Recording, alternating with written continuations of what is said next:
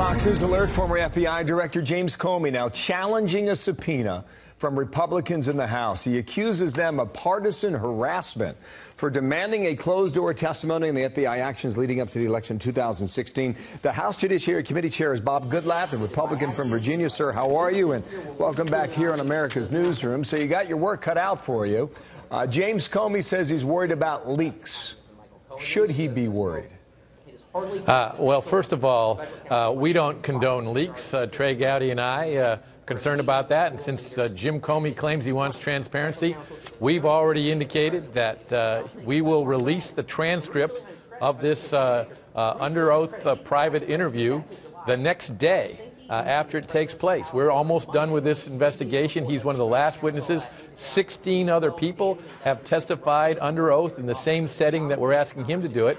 Uh, and his claim that he needs to do it in public uh, is, in my opinion, a farce. Uh, quite frankly, uh, five minutes is not enough time for an experienced former prosecutor like Trey Gowdy or John Ratcliffe to follow all of the threads that need to be followed, the hundreds of questions that need to be asked and that needs to be done in a private setting. Okay. But we're if happy for are, the transparency. If there are hundreds of questions, give me one that's on your mind. What do you need to know, sir?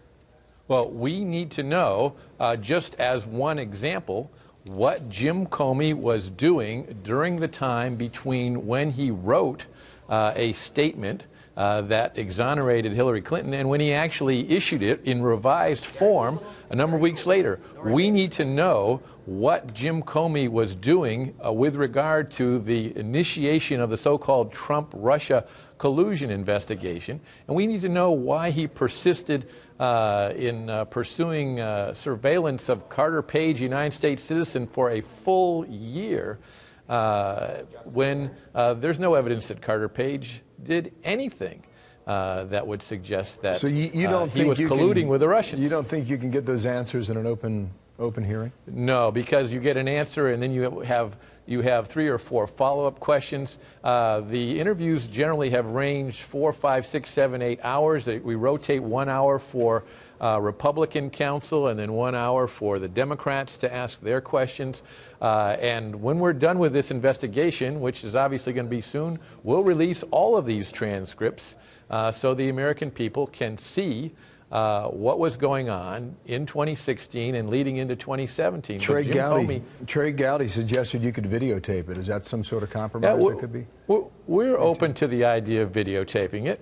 Uh, the, the fact of the matter is, though, he is trying to run the clock on us, and that's why we think he's filed this motion to quash. Uh, they also, Fusion GPS also tried that. They were uh, knocked down, and uh, instead he came in, Glenn Simpson came in and, and took the fifth. Uh, what Jim Comey's intentions are, I don't know, other than that uh, it's pretty clear he doesn't want to come in and answer the detailed questions that we so have. I'm looking at the calendar. I know you are as well. You're almost out of time, right? I mean, first week of January, the, the gavel we, we, switches.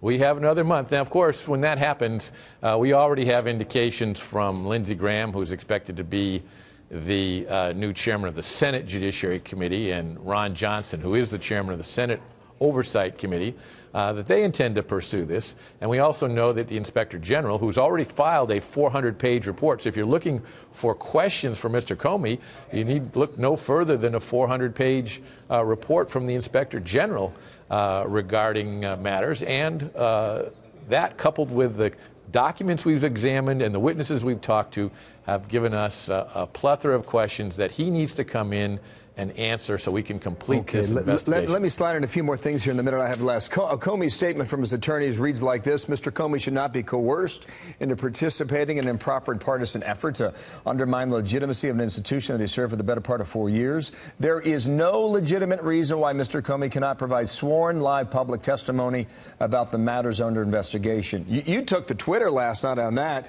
Here's what you said The truth is best served with transparency. What is Director Comey trying to hide from the American American people with this baseless motion to quash. So you got this battle with James Comey.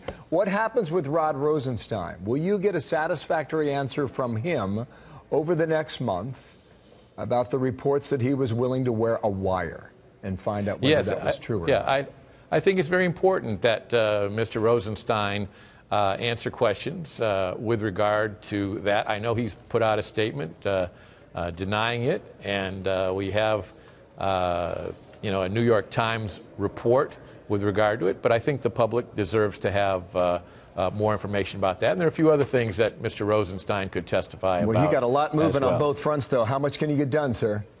Uh, we're close to the end.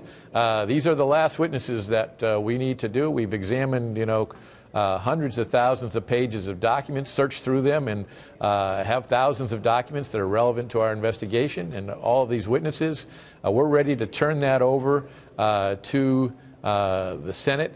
And uh, we're anxious to see what additional work the Inspector General does. Mr. Gowdy and I have, of course, also called for the appointment of a second special counsel, especially when you have Glenn Simpson at Fusion GPS coming in and uh, taking the And Fifth on- Amendment, on and others, goes. others who are Um, reluctant to testify. Yeah, you sound confident that you'll get your answers. We'll see if that's the case. Sir, thank you for coming back here. Bob Goodlatte from Virginia. Thank you, sir.